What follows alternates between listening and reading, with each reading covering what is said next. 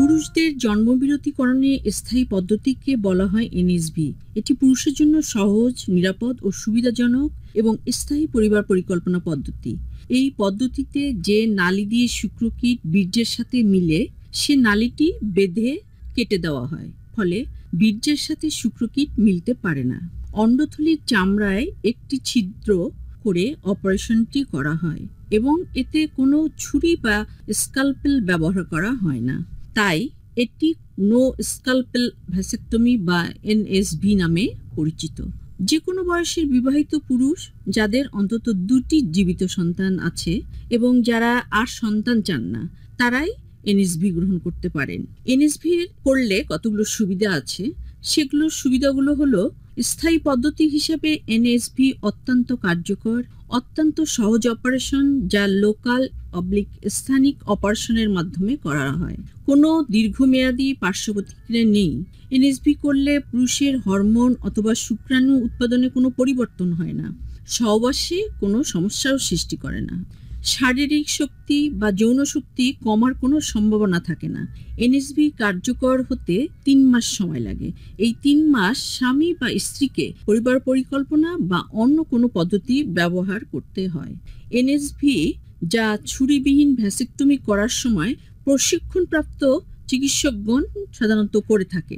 অপারেশনে ব্যবহৃত সকল যন্ত্রপাতি অপারেশন এর আগে জীবাণুমুক্ত করা হয়। অপারেশনের সময় ব্যথা যাতে না লাগে, সেজন্য অপারেশনের স্থানে লোকাল বা স্থানিক অবশ করার জন্য ইঞ্জেকশন দেওয়া হয়। খুব সুচালো, ধারালো ফরসেপ্ট বা চিমটা দিয়ে অন্ডথলির মাঝখানে দাগ বরাবর খুব ছোট একটি ছিদ্র করা হয়। একটি রিং ফরসেপের সাহায্যে ছিদ্রপথ দিয়ে শুক্রকীট বাহিনালি বের করে নিয়ে এসে বেঁধে কেটে দেওয়া হয়।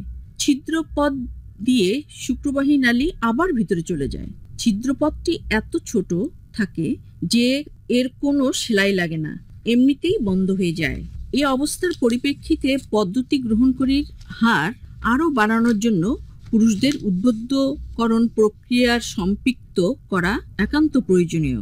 এক্ষেত্রে সুবিধামতো সময়ে এককভাবে বা দলগতভাবে পুরুষদের সাথে যোগাযোগ স্থাপন করতে হবে। পরিবারে কতজন সন্তান নেওয়া প্রয়োজন, সে বিষয়ে পুরুষের অংশগ্রহণ অবশ্যই প্রয়োজন। পুরুষের জন্য প্রয়োজন কন্ডম ব্যবহার যে অত্যন্ত সহজ এবং আর কোনো সন্তান না চাইলে ভ্যাসেক্টমি করানো খুব সহজ ও অত্যন্ত নিরাপদ।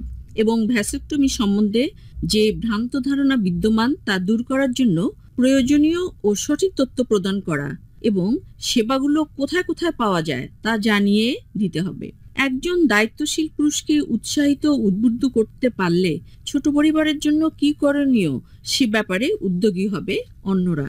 একজন দায়িত্বশীল পুরুষই পারে এনএসভির পদ্ধতির হার বাড়াতে। একজন সন্তুষ্ট ক্লায়েন্টগণ অন্য পুরুষের পরিবার পরিকল্পনা, এনএসভি, স্থায়ী পদ্ধতি গ্রহণে উৎসাহিত, উদ্বুদ্ধ করতে অগ্রণী ভূমিকা পালন করতে পারে। তাই একজন দায়িত্বশীল পুরুষই পারবে সুন্দর সংসার করতে এবং তার স্ত্রী ও দাম্পত্য জীবন সুখের করতে।